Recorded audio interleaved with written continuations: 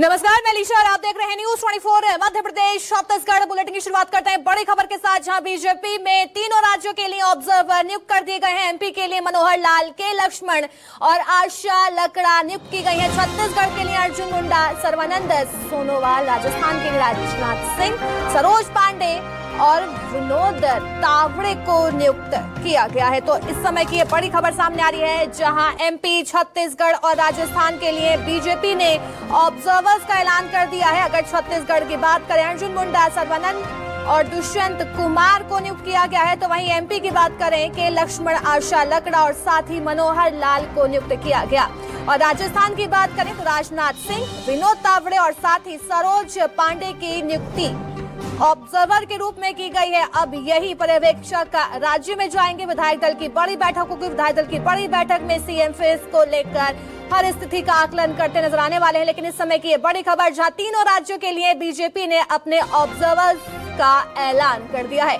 यानी अब कहा जा सकता है कि जल्द ही तीनों राज्यों में सीएम फेस का ऐलान कर दिया जाएगा, लेकिन सबसे बड़ा सवाल यही कि आखिर तीनों राज्यों में सीएम होने कौन वाला है? लेकिन इससे पहले ये बड़ी खबर लगातार टीवी स्क्रीन पर एमपी छत्तीसगढ़ और राजस्थान में बीजेपी ने अपने ऑब्जर्वर्स का ऐलान कर दिया। तो बीजेपी ने तीनों राज्यों के लिए ऑब्जर्वर्स का ऐलान कर दिया है। एमपी के लिए मनोहर लाल, के लक्ष्मण और आशा लकड़ा की नियुक्ति की गई है। तो वहीं छत्तीसगढ़ के लिए अर्जुन मुंडा और सर्वानंद सोनोवाल को नियुक्त किया गया।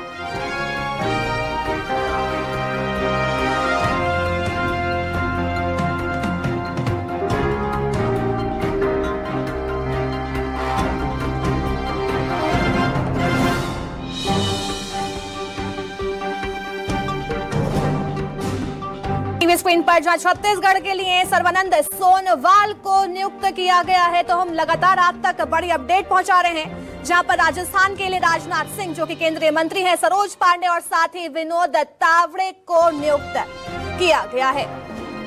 अब कहा जा सकता है कि जल्दी सीएम फेस को लेकर बीजेपी अपना ऐलान कर देगी। लगातार अब बड़ी बैठकों का दौर दिखा देखा जाएगा। विधायक दल की बड़ी बैठक होगी जिसमें ऑब्जर्वर शिरकत करेंगे और फिर तमाम मुद्दों को लेकर चर्चा की जाएगी और उसके बाद सीएम फेस को लेकर भी जल्द ही बड़ा ऐलान भी हो सकता है।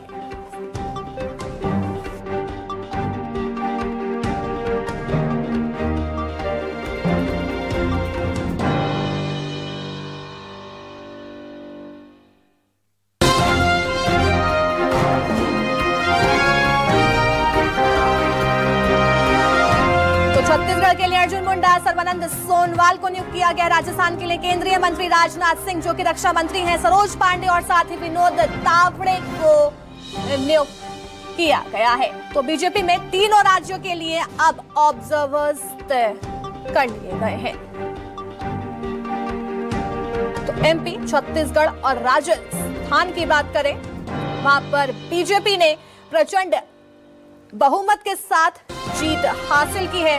उसके बाद से ही लगातार बैठकों का दौर देखा जा रहा था। बड़ी बैठक की गई थी। बड़ी बैठक में खुद पीएम मोदी शिरकत कर रहे थे। ऑब्जर्वर्स और साथ ही सीएम फेस को लेकर लगातार चर्चाएँ भी तेज थी, लेकिन इसी बीच यहाँ पर अब ऑब्जर्वर्स जो हैं, वो तय कर लिए गए हैं और जल्द ही अब सीएम फेस को लेकर भी ऐलान संभव है, क्योंकि अब ऑब्जर्वर्स तय कर लिए गए हैं। तीनों राज्यों में विधायक दल की बड़ी बैठक होगी और बड़ी बैठक के बाद तय किया जाएगा कि आखिर तीनों राज्यों में कौन होने वाला है? सीएम फेस तो ये तस्वीर देखिए।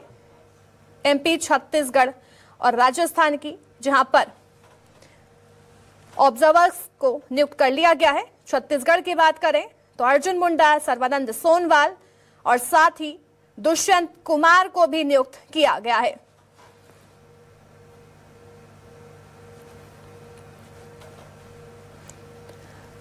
भोपाल से सुधीर दंदोतिया जो कि रेजिडेंट एडिटर हमारे साथ जुड़ गए हैं। अब देखिए, अब एमपी के लिए ऑब्जर्वर्स नियुक्त कर लिए गए हैं। क्या अब कहा जाए कि जल्दी सीएम फेस को लेकर ऐलान किया जा सकता है बीजेपी की ओर से?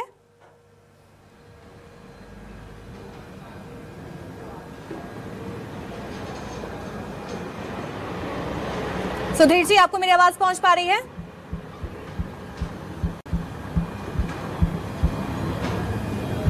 आवाज़ नहीं पहुँच पाई, लगातार संपर्क करने की कोशिश की जाएगी, लेकिन यहाँ पर बड़ी खबर लगातार टीवी स्क्रीन पर, जहाँ एमपी में के लक्ष्मण, आशा, लकड़ा और साथ ही मनोहर लाल को नियुक्त किया गया है एज अ ऑब्जर्वर और छत्तीसगढ़ की बात करें, अर्जुन मुंडा, सर्वानंद सोनवाल और दुष्यंत कुमार को नियुक्त किया गया है।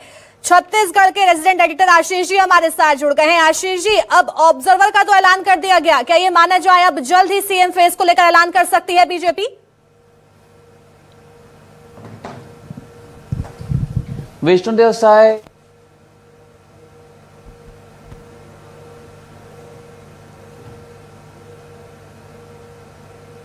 आशीष जी आप तक मेरी आवाज़ पहुँच पा रही है? संपर्क नहीं हो पा रहा लगातार कोशिश की जाएगी, लेकिन बड़ी अपडेट, न्यूज़ 24 एमपी छत्तीसगढ़ पर लगातार, जहाँ पर ऑब्जर्वर्स का ऐलान कर दिया गया है। न सिर्फ़ एमपी छत्तीसगढ़, बल्कि राजस्थान में भी बीजेपी ने अपने पर्यवेक्षकों का ऐलान कर दिया है अब जल्द ही कहा जा सकता है कि सीएम फेस को लेकर बीजेपी खासा सक्रिय नज़र आ रही है। भोपाल से सुधीर जी हमारे साथ जुड़ गए। सुधीर जी देखें यहाँ पर ऑब्जर्वर्स का तो ऐलान कर दिया गया। क्या ये कहा जाए, अब जल्द ही सीएम फेस को लेकर भी बीजेपी ऐलान कर सकती है?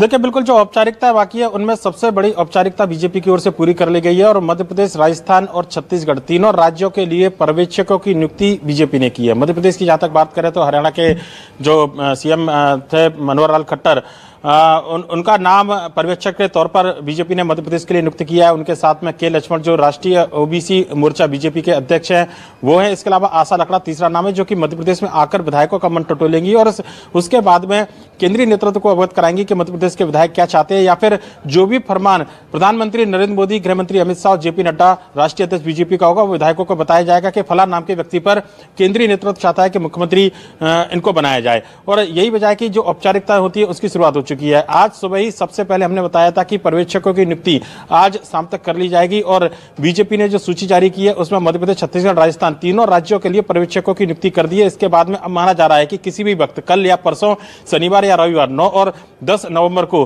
बीजेपी विधायक दल की बैठक बुलाएगी, जिसमें शेष औपचारिकता पूरी कर ली जाएगी और उसके बाद में मध्य प्रदेश में मुख्यमंत्री कौन होगा, ये तस्वीर जो है पूरी तरीके से साफ़ हो जाएगी। लेकिन सुधीर जी, अब बड़ा सवाल यही कि देखिए ऑब्जर्वर तो नियुक्त कर लिए गए हैं, लेकिन सीएम फेस कौन होगा?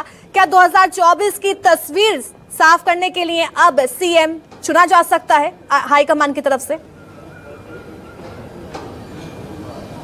देखिए, निश्चित तौर पर सभी चीज़ों का ध्यान रखना होगा। आने वाले समय में लोकसभा के चुनाव में मध्य प्रदेश बीजेपी का संगठन और जिसके पास में अनुभव हो सरकार का, ये ऐसी तमाम चीज़ें रहेंगी जो कहीं ना कहीं निश्चित तौर पर देखी जाएँगी। और 2024 के लोकसभा चुनाव के मद्देनजर मध्य प्रदेश का मुख्यमंत्री जो भी रहेगा, उसके ऊपर एक बड़ी ज़िम्मेदारी है, क्योंकि इस बार बीजेपी सभी उनतीस सीटों को जीतने का टारगेट लेकर चल रही है, क्योंकि अट्ठाईस सीटें मध्य प्रदेश में बीजेपी के पास में है। और मध्य प्रदेश के में बीजेपी इस समय अपने सर्वोच्च शिखर पर बैठी है।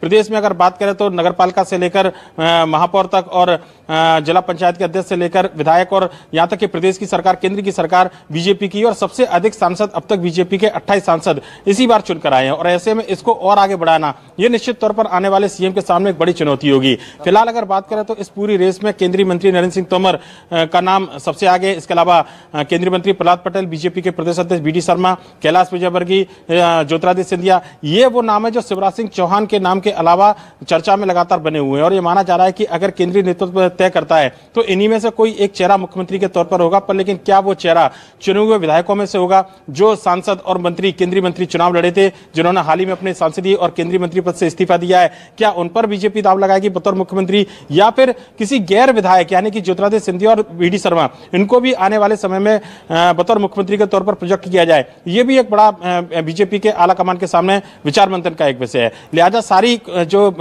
जो विचार मंथन है, लगभग वो पूरा कर लिया गया है और प्रधानमंत्री नरेंद्र मोदी के मन में क्या है? ये निश्चित तौर पर जेपी नड्डा और अमित शाह को ज़रूर पता होगा, भले ही दावेदारों को ना मालूम हो, पर लेकिन औपचारिकता कुछ होती है किसी भी प्रक्रिया को पूरा करने के लिए। और बीजेपी जो है, वो निश्चित तौर पर कैडर पार्टी और सारी औपचारिकता पूरी करती है। लिहाजा जो औपचारिकता है पर्यवेक्षक नियुक्त करने की, उसके बाद में विधायक दल की बैठक बुलाने की, ये औपचारिकता शेष की जाएँगी। पर्यवेक्षक की नियुक्ति हो चुकी है, विधायक दल की बैठक बुलाया जाना बाकी है और विधायक दल की बैठक के दौरान ही ये ऐलान कर दिया जाएगा कि मध्य प्रदेश का अगला मुख्यमंत्री कौन रहने वाला है। जी, बिल्कुल। अगला मुख्यमंत्री कौन होगा यही लगातार सस्पेंसिव जो है वो देखा जा रहा है। सुधीर जी हमारे साथ बने रहिए इसी बीच दिल्ली से कुमार गौरव हमारे साथ जुड़ गए। कुमार गौरव, लंबे इंतज़ार के बाद बीजेपी ने अब ऑब्जर्वर्स की नियुक्ति कर दी है। क्या कुछ रोल होने वाला है तीनों राज्यों में इनका?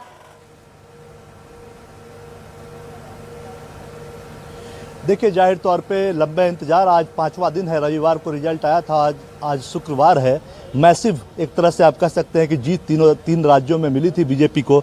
लेकिन बहुत समय लगा पर्यवेक्षक नियुक्त करने में, क्योंकि इसके पीछे बड़े एक्सरसाइज इसके पीछे की वजह है, बड़ा एक्सरसाइज तीनों राज्यों में होने वाला है। और इसीलिए चूँकि सत्ता में हस्तांतरण, परिवर्तन टॉप लीडरशिप को किनारे करना, आगे का राजनीतिक और क्षेत्रीय समीकरण क्या हो, इन तमाम चीज़ों को देखना होता है। और इसलिए अंततः आज जो पर्यवेक्षकों की लिस्ट आई है, खासकर मैं मध्य प्रदेश और छत्तीसगढ़ की बात करूँगा। कहा जाता है अमूमन कि एक शेर है, आदमी पहचाना जाता है, कयाफा देखकर खद का मजमूम भाप लेते हैं, लिफाफा देखकर। इसलिए मध्य प्रदेश पे आइए। मनोहर लाल खट्टर पर्यवेक्षक बनाए गए हैं। डॉक्टर के लक्ष्मण पर्यवेक्षक बनाए गए हैं। आशा लकड़ा पर्यवेक्षक बनाई गई हैं। तो ये जो तीन नाम है, इनको देखकर ऐसा नहीं लगता कि मध्य प्रदेश में किसी बहुत बड़े बदलाव की योजना पार्टी लीडरशिप बना रही है। ऐसा लगता है ये पर्यवेक्षकों की सूची देख करके ठीक है। मुख्यमंत्री के साथ एक दो डिप्टी सीएम हो सकते हैं, लेकिन अभी भी जो ये बात कही जा रही थी कि पूरा गुजरात मॉडल के तर्ज पर सब कुछ बदल देंगे, सब कुछ ऊपर नीचे वाले ऊपर आ जाएँगे, ऊपर वाले किनारे हो जाएँगे, ऐसा दिखता, ऐसा लग नहीं रहा है देखकर कम से कम पर्यवेक्षकों की सूची सूची। तो ज़ाहिर सी बात है, छत्तीसगढ़ की बात कीजिए, अर्जुन मुंडा सर्वानंद सोनेवाल और दुष्यंत गौतम। ये भी पर्यवेक्षक बनाए गए हैं छत्तीसगढ़ के लिए। और छत्तीसगढ़ में कोई लड़ाई कहीं दिखती नहीं है। माना जा रहा है कि वहाँ एसटी और ओबीसी में से कोई एक मुख्यमंत्री और कोई एक डिप्टी सीएम बनेगा।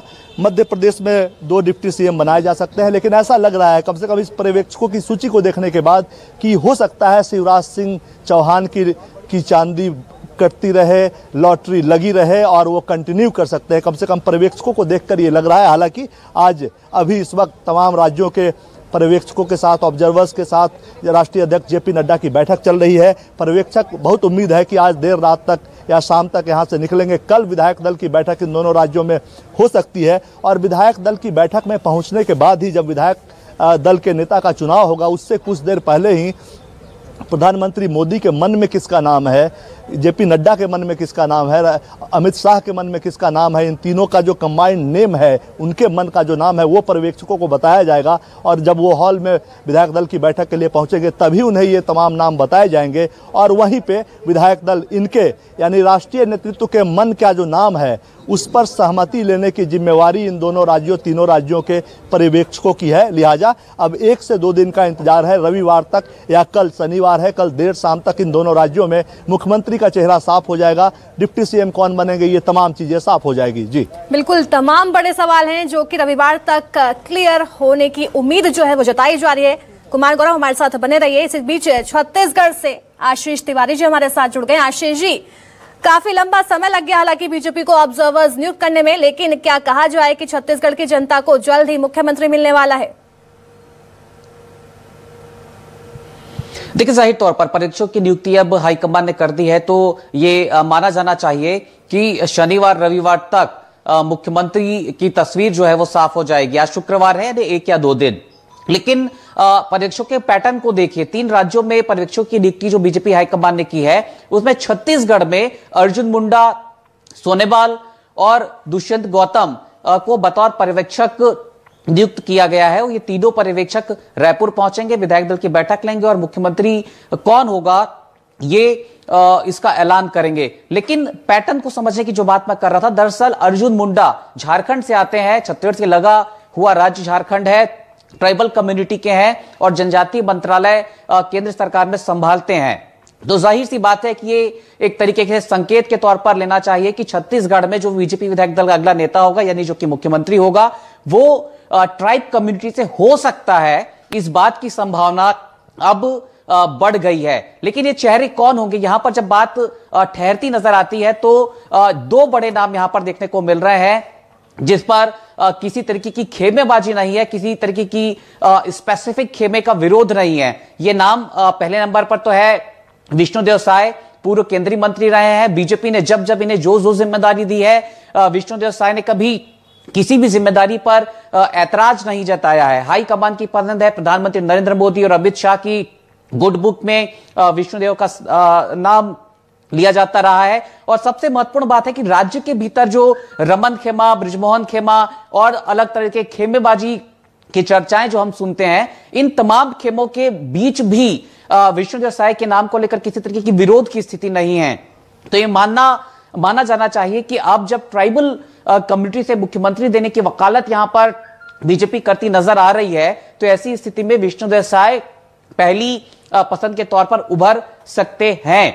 लेकिन यदि ट्राइबल कम्युनिटी से ही किसी महिला प्रतिनिधि देने की बात आएगी बतौर मुख्यमंत्री तो गोमती साय के नाम को बीजेपी आगे करती नज़र आ सकती है। लेकिन यदि ये तमाम जो सरकमटेंसेस इस वक्त बनते बीजेपी के भीतर नज़र आ रहे हैं, यदि ऐसा नहीं हुआ और ओबीसी फैक्टर पर बीजेपी जाएगी, जिसकी संभावना फ़िलहाल इस वक्त कम नज़र आ रही है तो ऐसी स्थिति में कोई दो राय नहीं कि बीजेपी प्रदेश अध्यक्ष अरुण साव की ताजपोशी कर दी जाएगी। फ़िलहाल इंतज़ार की स्थिति अब भी बनी हुई है। बिल्कुल इंतज़ार किया जा रहा है और उम्मीद भी की जा रही है कि जल्द ही अब जनता को उसका मुख्यमंत्री भी मिल जाएगा। आशीष जी हमारे साथ बने रहिए। सुधीर जी, देखिए, अब ऑब्जर्वर्स का तो ऐलान कर दिया गया है, लेकिन अब एमपी में विधायक दल की बैठक कब संभव बताई जा रही है? देखिए, बिल्कुल जैसा कि हमारे सहयोगी कुमार सौरभ बता रहे थे कि दिल्ली के अंदर जेपी नड्डा के साथ पर्यवेक्षकों की बैठक चल रही है और निश्चित तौर पर पर्यवेक्षकों की बैठक में तारीख और समय मुकर्र किया जाएगा कि किस किस समय विधायकों की बैठक बुलानी है, विधायक दल की बैठक बुलानी है। और संभावना इस बात की जाता, जताई जा रही है कि आज जब पर्यवेक्षकों के नाम का ऐलान कर दिया गया है तो कल शनिवार या रविवार को विधायक दल की बैठक बुलाई जाएगी और उसमें पूरी तरीके से जो प्रधानमंत्री नरेंद्र मोदी और राष्ट्रीय अध्यक्ष जेपी नड्डा, गृहमंत्री अमित शाह के मन में जो भी नाम होगा, उस नाम से विधायकों को अवगत कराया जाएगा। विधायकों से रायशुमारी की जाएगी और सबके बीच में सहमति बनाने की कोशिश की जाएगी। हालाँकि बीजेपी कैडर पार्टी और इसमें अगर केंद्रीय नेतृत्व ने कोई फैसला लिया है तो वे सभी स्वीकार करते हैं। इस बात की संभावना जताई जा रही है कि जो भी नाम दिल्ली से भोपाल भेजा जाएगा, वो नाम सभी विधायकों को स्वीकार होगा। ये औपचारिकता है, एक औपचारिकता पर्यवेक्षकों की नियुक्ति को लेकर पूरी कर ली गई है। अब महज विधायक दल की बैठक बुलाना बाकी है और ये माना जा रहा है कि अब से थोड़ी देर बाद हो सकता है कि एक दो घंटे बाद विधायकों को सूचना जाना शुरू हो जाए कि फला दिन। इस समय विधायक दल की बैठक और आपको भोपाल में बीजेपी कार्यालय में मौजूद रहना है। ये एक इस बात की संभावना भी जताई जा रही है। पर्यवेक्षक जो तीनों नियुक्त किए गए हैं, उनकी जब बैठक खत्म होगी, उसके बाद में विधायक दल की बैठक किस तारीख को, किस समय होनी है, ये भी बात सामने निकल कर आएगी जेपी नड्डा से पर्यवेक्षकों की मुलाकात के बाद में। बिल्कुल। बहुत बहुत शुक्रिया आशीष जी, सुधीर जी और साथ ही कुमार, गौरव हमें तमाम जानकारी देने के लिए, लेकिन